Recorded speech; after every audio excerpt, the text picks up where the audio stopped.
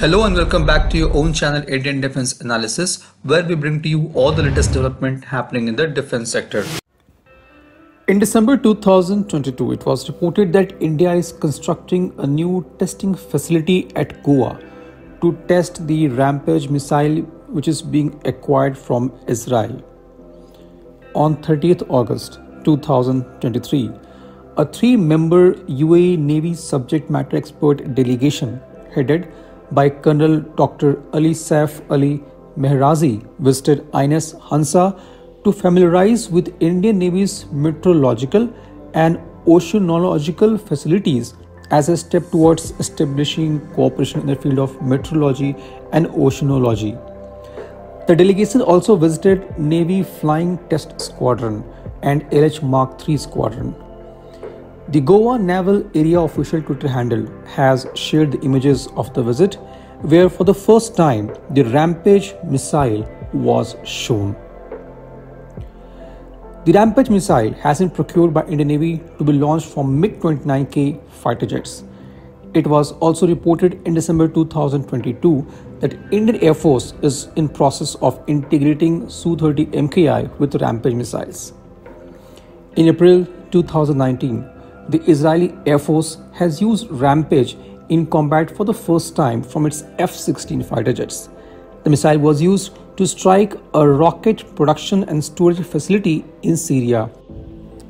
This facility was likely run by Iran's Islamic Revolutionary Guard Corps and protected by S 300 and S 400 air defense systems.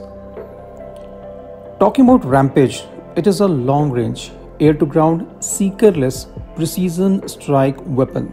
It has been developed for use in missions aimed at destroying high quality, well protected targets such as communication command centers, air force bases, maintenance centers, and infrastructure.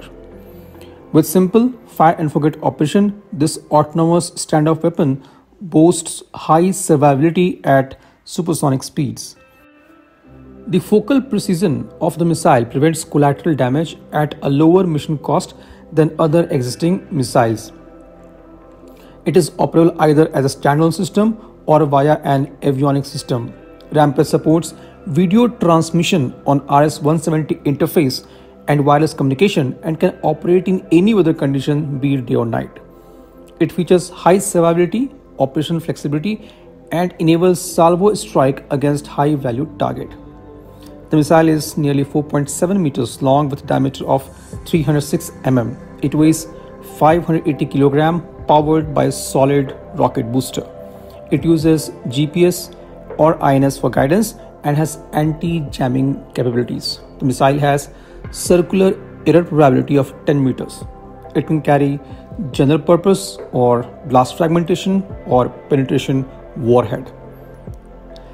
The speed of missile is between 0.7 to 0.95 Mach and has impact velocity between 1 to 1.6 Mach.